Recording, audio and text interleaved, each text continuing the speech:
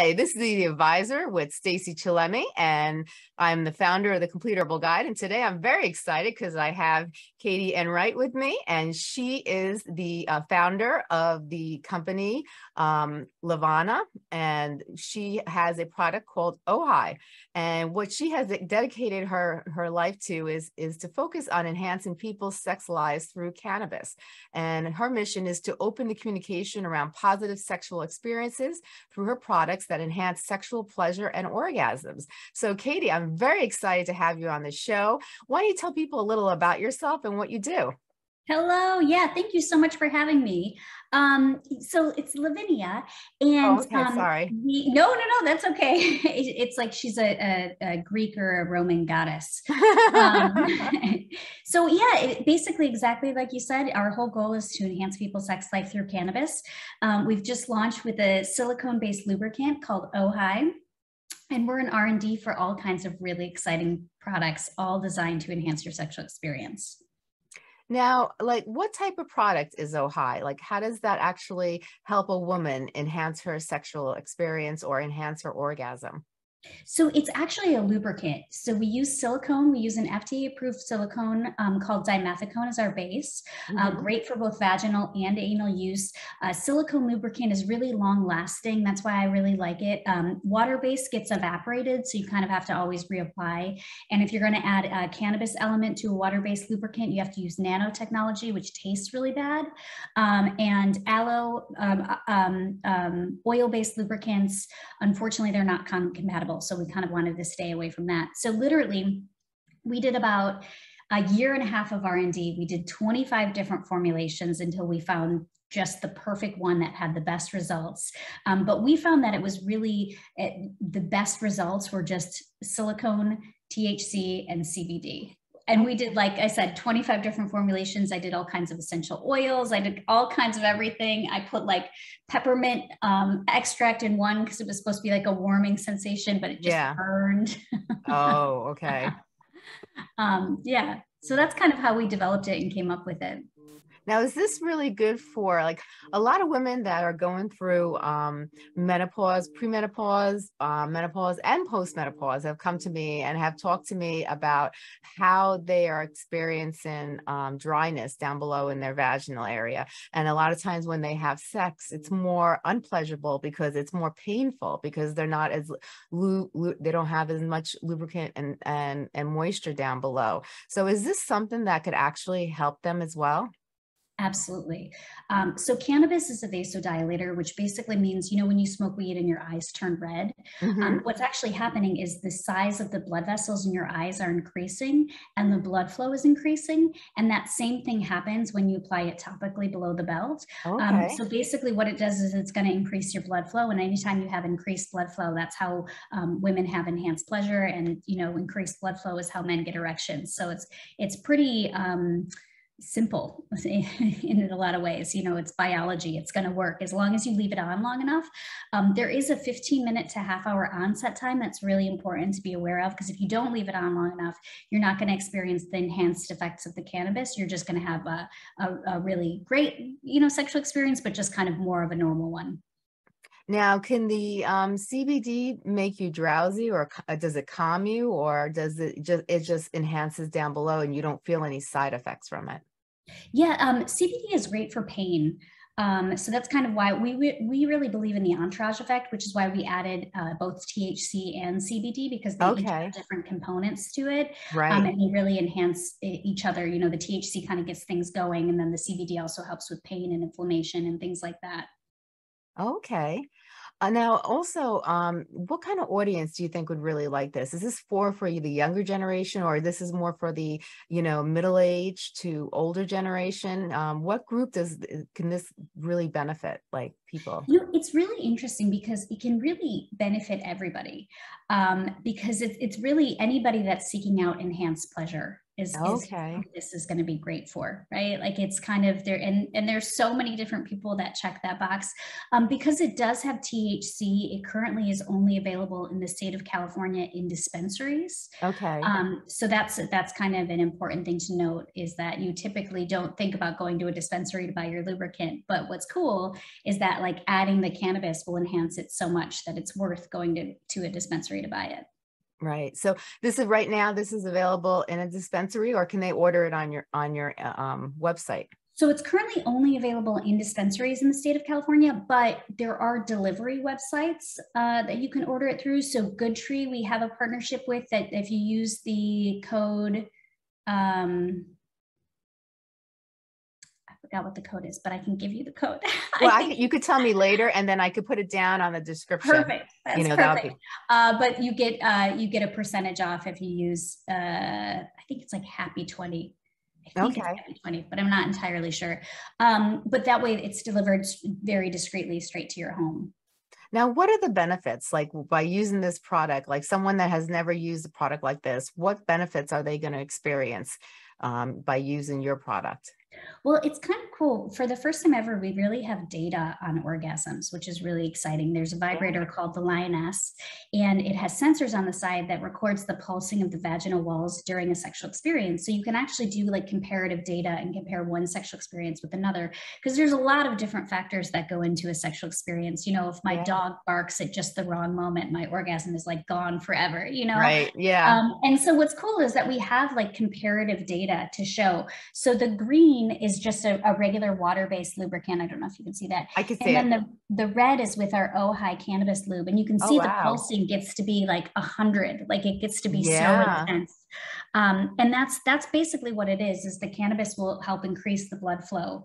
Uh, which is really necessary and is, is great for things like when you you know menopause somebody that's going through menopause that's amazing it's going to be very helpful I think, you know, so many people are um, embarrassed to talk about it, but so many women, you know, even young women, like I've talked to young women and they've had sex, they enjoy sex, but they've never experienced an orgasm, you know, and I, I you know, sometimes, you know, it, it might not, it could be that their partner's not hitting the right spot, you know, because there are different spots in the vaginal canal that will, you know, induce an orgasm, or, you know, it, it could be that they just can't get themselves relaxed or to a point or it could be also that it's not the clitoris isn't stimulated enough like you said the increasement of the of the blood vessels so it's more sensitive so it actually can induce that orgasm.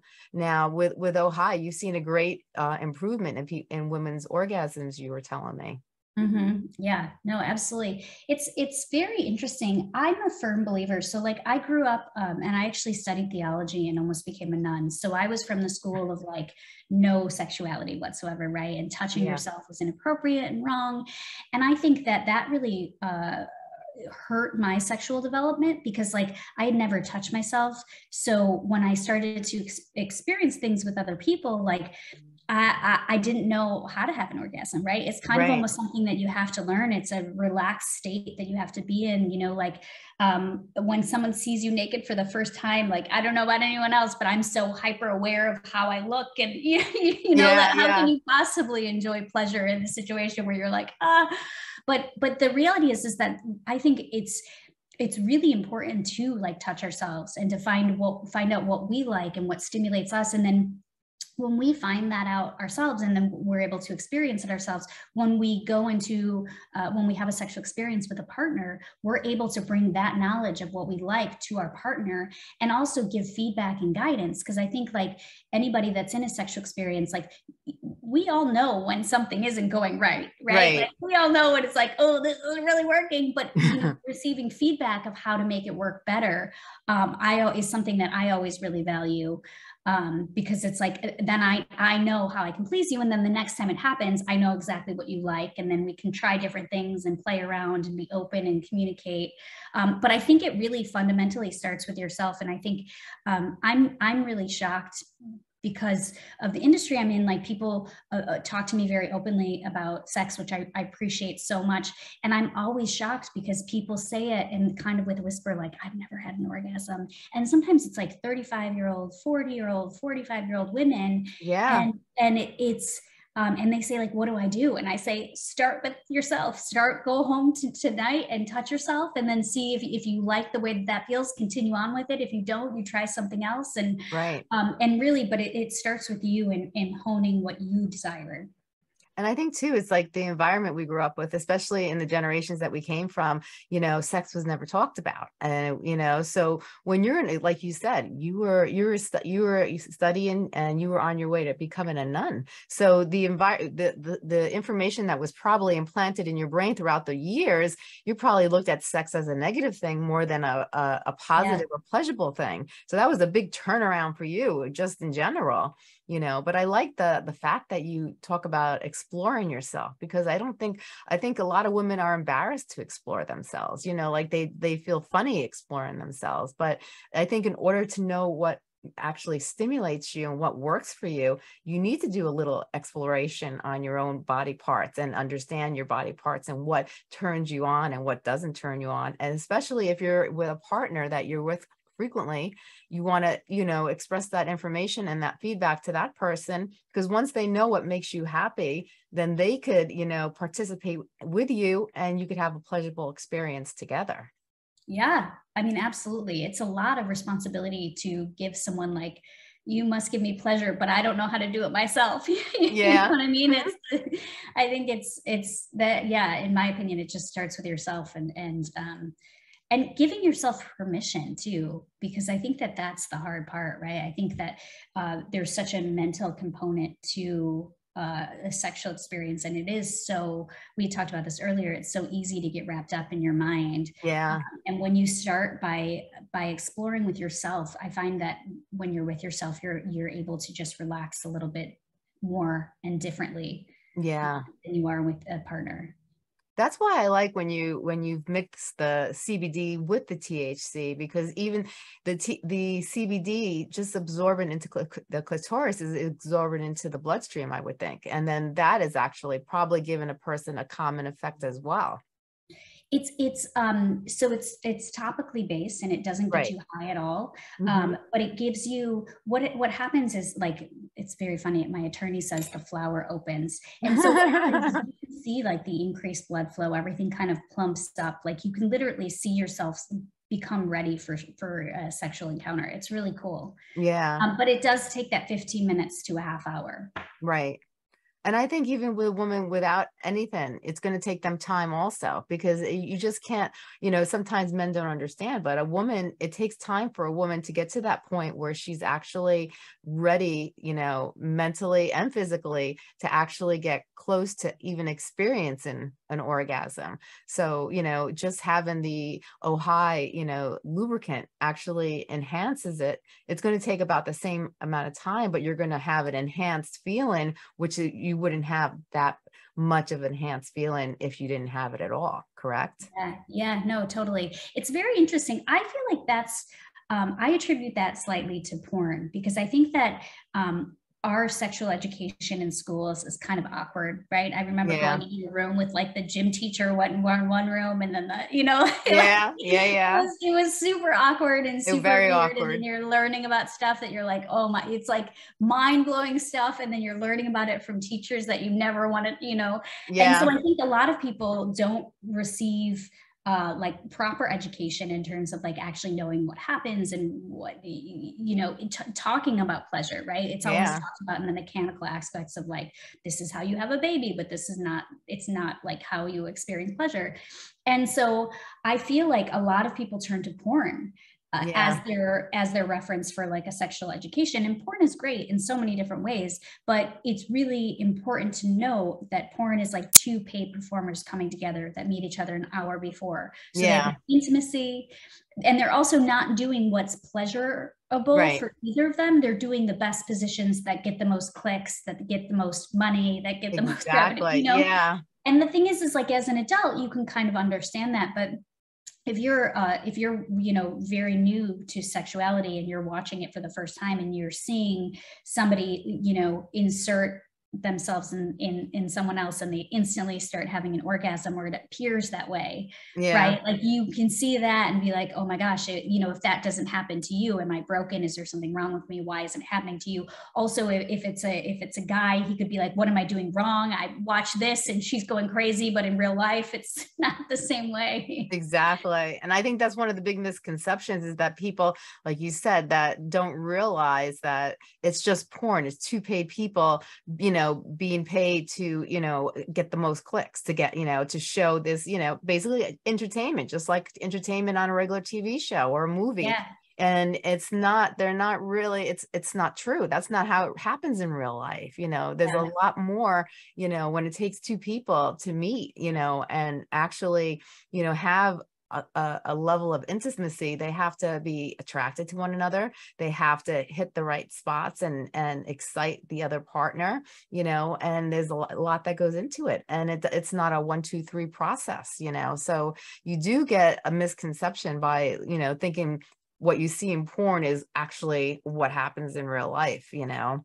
Yep totally totally and then it can it can be very jarring and very scarring too i think for certain people Oh yeah, definitely. I think so. I men especially, I think, are more sensitive. They always want to. They, you know, they they get very insecure. I think uh, from a lot of men that I've spoken to, if they don't please their partner, what am I doing wrong? But they don't realize that everybody's different and everybody has different preferences and different things that excite them and you know it, and that you can't just rely on what you hear or what you see it's really understanding your partner and understanding you know what's going to help your partner you know get to that level yeah, and it's about t- talking about it, right? There's yes, it's shocking how many people do not talk about it, right? Um, and I think that that's really key because when you talk about it, you can understand things and break things down and like um, you know you're you're literally naked in front of somebody so you're in a really vulnerable situation and spot and like yeah. sometimes if somebody gives negative feedback or something that can that can feel harsher than um, it's intended to but it's like so talking about it when you're not in the sexual situation about like what you like or what are code words that i can say when to know just where to touch me or when to move or when to do this or whatever. Right. so instead of saying no no no or you know exactly. something that feels harsh in the moment yeah. say ooh a little to the left or uh, that's it. Just you know it, it giving feedback and positive reinforcement is is so important. Um, and it also helps build your relationship with that person. Yeah I agree. I agree totally. I think communication is key. And I think a lot of people don't have enough of communication with their partner, you know, again, because they're embarrassed to talk about it or they don't want to hurt their partner's feelings. But there's always a way that you could discuss things, you know, in a less harsher manner you know and and you know so you understand you know you know instead of pointing out the the wrong in the other person you know talk about what you like and talk about say, say it in a nice way you know so that other person doesn't get offended or get hurt by the comments that you know you might you know say to that person and and also if there's a fetish or something you want to try or bring into the bedroom the more that you communicate the more that you be open to telling that person. There's so many people that um, you know don't aren't fully satisfied because they they're not exploring truly what they want to explore.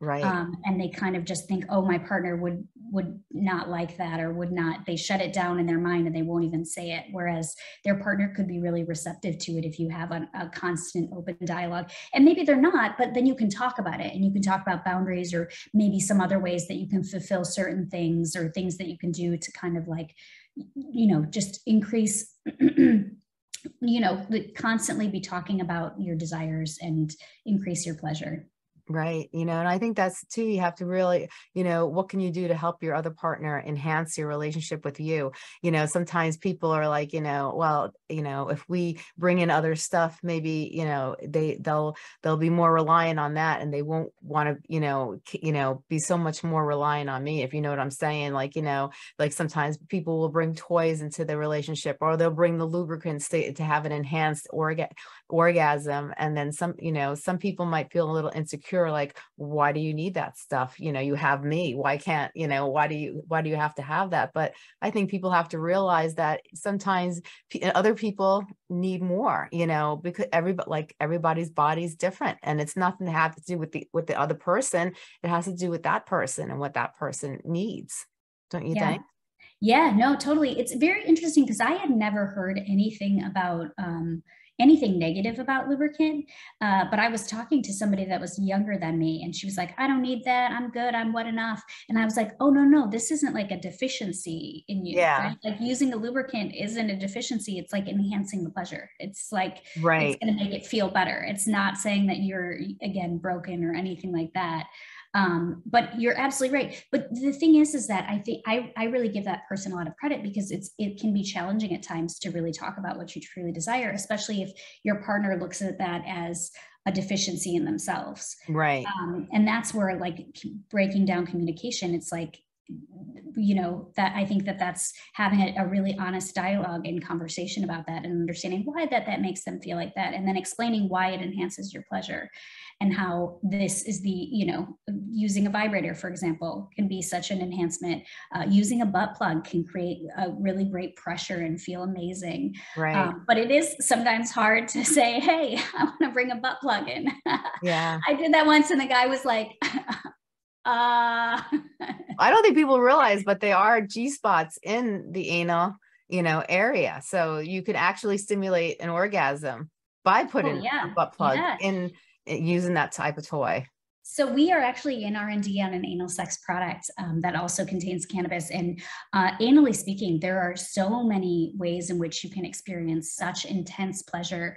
Um, the the the thing about anal is that, as we were talking about porn, um, anal kind of is the person who's receiving really has to have all of the control.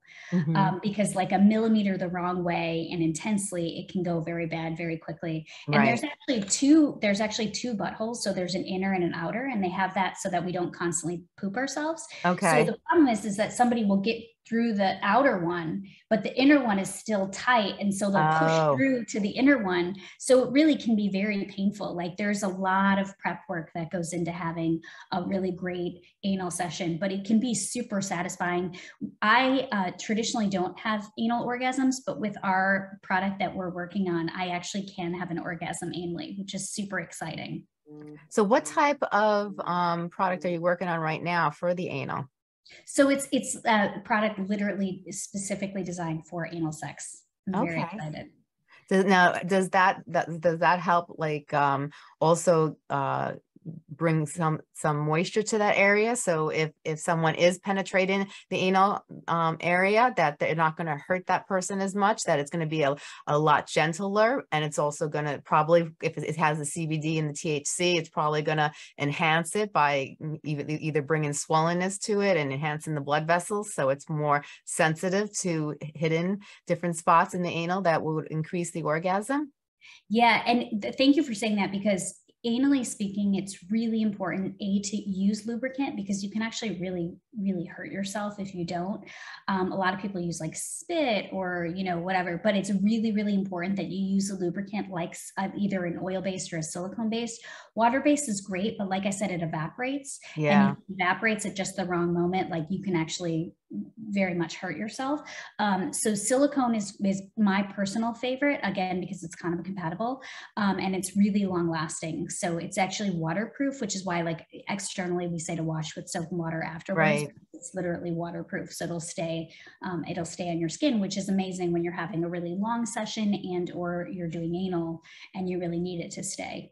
And I don't think many people realize that, that you need some type of moisture lubricant, you know, before you have anal sex. If that's the decision you're going to make, if you say, I want to try anal sex, you can't just have anal sex because you could actually do damage and hurt the person if it's not, if it's not moisturized and if it's not, you know, uh, if the, if the penis can't actually glide into the anal canal easily, you could tear and do damage. So that's, you know. Yeah It, and it, it, that's it's so important like i said like breathing exercises and the person that's receiving being really relaxed and yeah. that comes from knowing that their partner is not going to make any sudden movements or any jolts or anything like that like it's really important to have a lot of control over what's happening um, and doing a lot of breath exercises. And also, it depends on the size of your partner, right? If you're with right. a really well endowed partner, like that can be really painful, and tearing can happen automatically if the person is is very well endowed. So I get to a, I, I get to a, a point where if they're too big, it's a no go for me. right, right, yeah.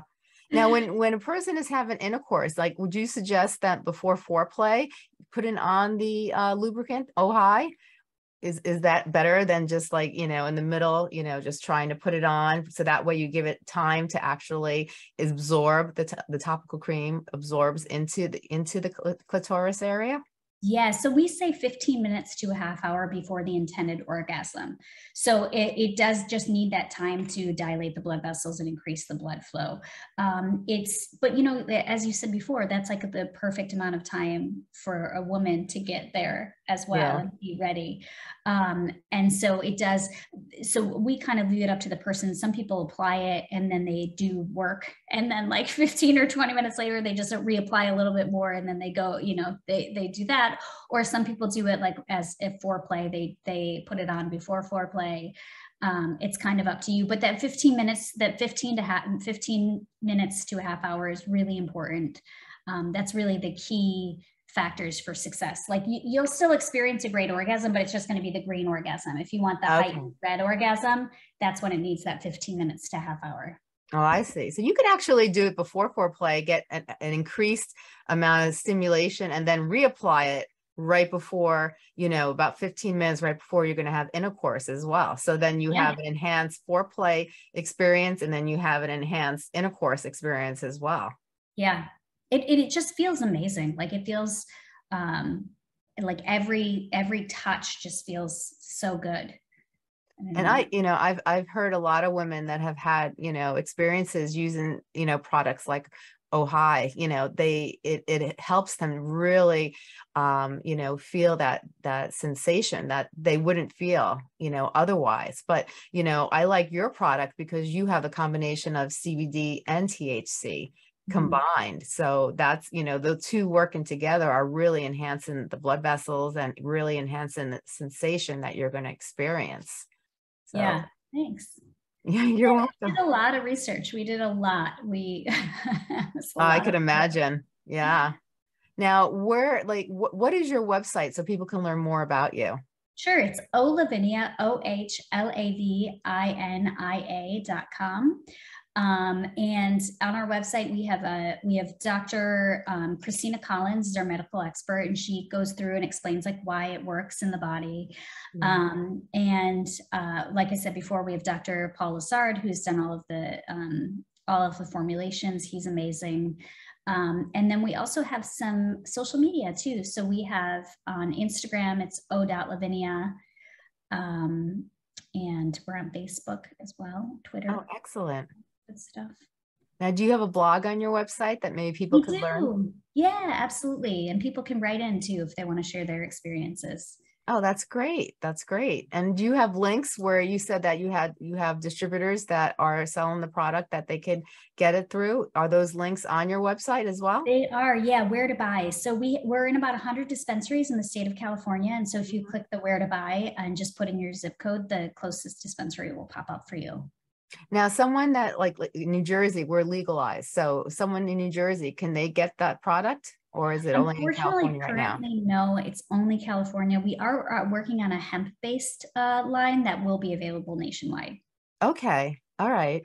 I'm sure in time, Ohio will probably be uh, available nationwide. It's just you know getting everything you know legalized and and everything. So you know, exactly. but that's that's great i love it i love it you know and uh so the, the new product will probably be available for um we're we're January or February is our goal. We're Valentine's Day is our, our targeted launch. Um, nice. So we are in R and D. If you'd like to be in our testing group, we would love that. So we're uh, testing our hemp-based formula, and then we're also doing our anal-based formula. So if you're open to testing either one of those, that we would love to have you. yeah, sure. I like that. I, you know, I'm so glad you came on today. And now, if there's any any tips that you'd like to give people to kind of help them, you know, have a better um, relationship and enhance feeling and, and a better sexual experience when it comes to orgasms, do you have any any tips to help women, you know, receive orgasms and, or enhance the orgasms they're having? Yeah, I mean, well, I think it's, I think if you use our product, not to plug it, but I think that that will really help. Um, I think that there's a real mental component in uh, in having an orgasm, um, and uh, for me, what's really awesome is that this takes all the pressure off of the actual climax because that's kind of sometimes when I have anxiety, where I have anxiety, where it's like I have to focus so hard to yeah. to have a client. You know, everything has to be just perfect, and like I said, if right. the dog, you know if there's a, a, a, change of motion for two seconds or the dog barks or anything, it's like gone forever. Um, yeah. Um, whereas when I use my lube, because the, the because the everything's so sensitive and the blood flow is increased, like I don't actually even worry about having an orgasm because I know I'm going to have uh, multiple. Like with this product, I can have multiple. So right. it really takes me out of my head uh, and kind of puts me in my body, which is a really nice experience. Now, um, if anyone wants to, uh, the studies you're doing, are you opening that up to other people who might want to? For try? sure. Yeah, absolutely. So my Instagram is underscore Katie underscore Enright underscore. Um, just DM me if you'd like to be on the testing group. Um, the only thing that we ask is that it's if you're uh, that you either use the product solo um, for the lube or uh, for the anal sex product if you make sure that you've used it with a partner that you've had sex multiple times with before because the first few times you have sex there's so many different factors and variables exactly um, but yeah absolutely because I think a lot of people would like to try it. I think a lot of people, you know, would like to experience it. So that would be great, you know, that would yeah. be great. Well, yeah. Katie, it's been a pleasure having you here, you know, and you know, I wish you the best of luck. This sounds amazing. And I've I've actually, you know, used your product and I've had a great experience with it. So, you know, I hope that, you know, I hope this does really well for you. And, you know, I thank you so much for being on the show. Oh, thank you so much for having me.